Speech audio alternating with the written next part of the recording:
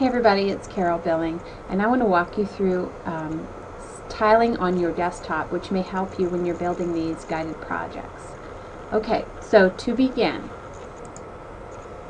you'll have Blackboard open in one window, right here, and then you would have your PowerPoint file open here. And so to tile them across your screen, you're going to right click down here in the taskbar and click Show Windows Side by Side. Okay, and now you see we have them side by side, but oops, what is this? That was a joke, because I knew it was going to happen. Okay, anyway, um, I, I did this on purpose so you would see. I had another file open, uh, window open, and all you have to do if, you, if this happens is minimize or close the extra window we don't want.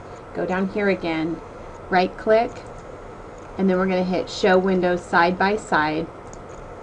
And now I've got a nice window where I can work in this side and watch in this side.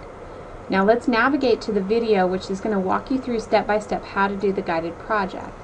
So that is under assignments.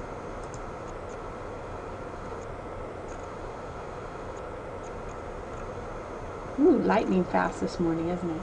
Okay, scrolling down here to PowerPoint. Okay, I would watch this if you haven't watched that already. But the specific video on how to build your guided project is a little bit deeper. So come on with me. Right? So now I'm in PowerPoint chapter 1. It gives you the quizzes there and some more information below, but we're going to actually go into this module.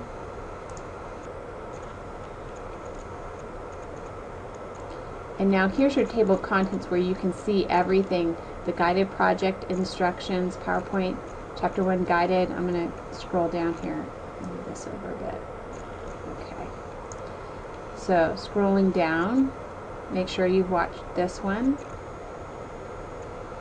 Data files, video on how to get your data files. Okay, chapter 1 summary, very helpful. Alright, so here is the tutorial.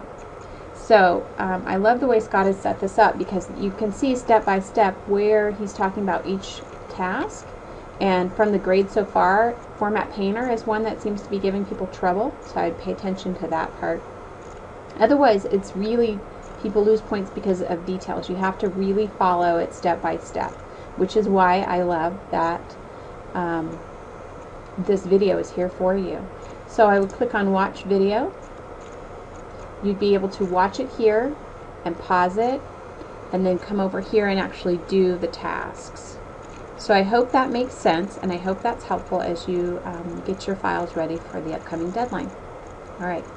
Thanks very much.